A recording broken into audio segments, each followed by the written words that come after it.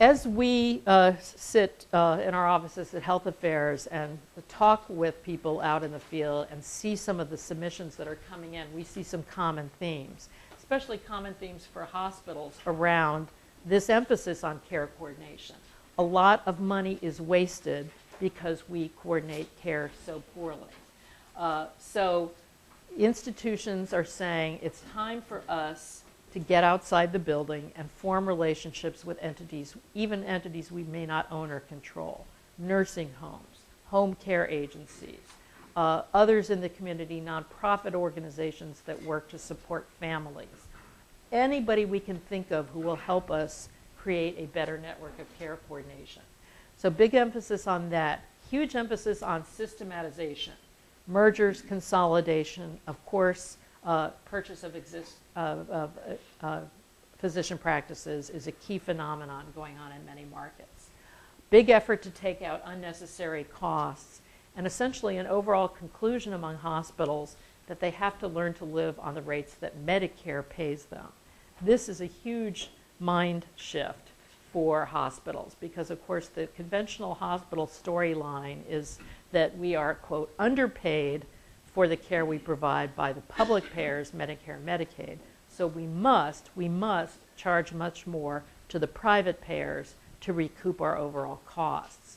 This uh, storyline is now going away as institutions realize that almost all payment will now be converging down toward Medicare rates. So they have to learn to live on Medicare rates. Um, and in fact, David Hunter, who is well known in the academic medical center community, he's a little bit like all, when, I, when I was on the board at Dartmouth Hitchcock, all you had to do was say the name David Hunter, and it was like the Antichrist. Uh, because he runs a firm that comes in and takes costs out of systems and tells people essentially how to uh, keep the wolf from the door. He uh, says nowadays you cannot be in the hospital business today and not be making money on Medicare and even Medicaid rates, because that's where all the rates are going to go. So this is, a, as I say, a whole new world. Big themes that we're hearing about from physicians uh, are obviously the need to dramatically boost primary care capacity because of the very, very clear evidence that systems that have robust primary care spend less than ours with a very fragmented and fractured primary care system where people end up getting a lot of care from specialists. So big emphasis on that, big emphasis on, again, on systematization, mergers and consolidation. Again, many physicians asking to be bought by hospital systems, and particularly on the specialty side. Uh, huge emphasis now on rationalizing use of specialists, and rationalizing, you know, means less. It means less use of specialists, more, more access of people to primary care, and much more uh, emphasis now, obviously, on the practice of evidence-based medicine uh, and meeting various performance metrics as a condition of payment. Uh, big themes for health plans, uh, as uh, many people will tell you, the health plans aren't exactly confident that the next few years will be the best years they ever had. Why? Health insurance exchanges right? We are going to make the old business of risk selection go away as everybody comes into uh, a health insurance market. So insurers who have just been operating individual and small group health plans really see their business essentially going away. Uh, they have other pressures under the Affordable Care Act, meeting the new medical loss ratios. Uh, larger plans essentially are seeing, increasingly seeing their business as being the back office of accountable care organizations, forging relationships with provider groups to help them manage utilization. And if we move to global payment, which is, face it, insurance, essentially bringing uh, that actuarial capacity, uh, administrative capacity, and risk analysis capacity to these new provider groups that will be forming around accountable care institutions and lending uh, them their expertise.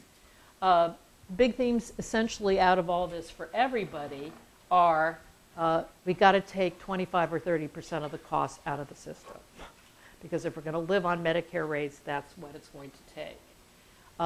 Lots of institutions uh, uh are thinking about, well, how, if we imagine, for example, an organization like Kaiser Permanente, which uh, has uh, roughly speaking about 8 million enrollees, and it has, it's an, essentially, it's an insurance company with a separate but related medical group.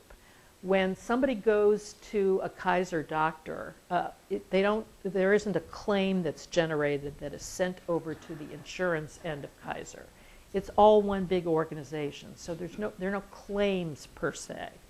Lots of uh, entities are saying, well, how do we get the most to be like Kaiser Permanente without being a Kaiser Permanente? How do we get rid of claims?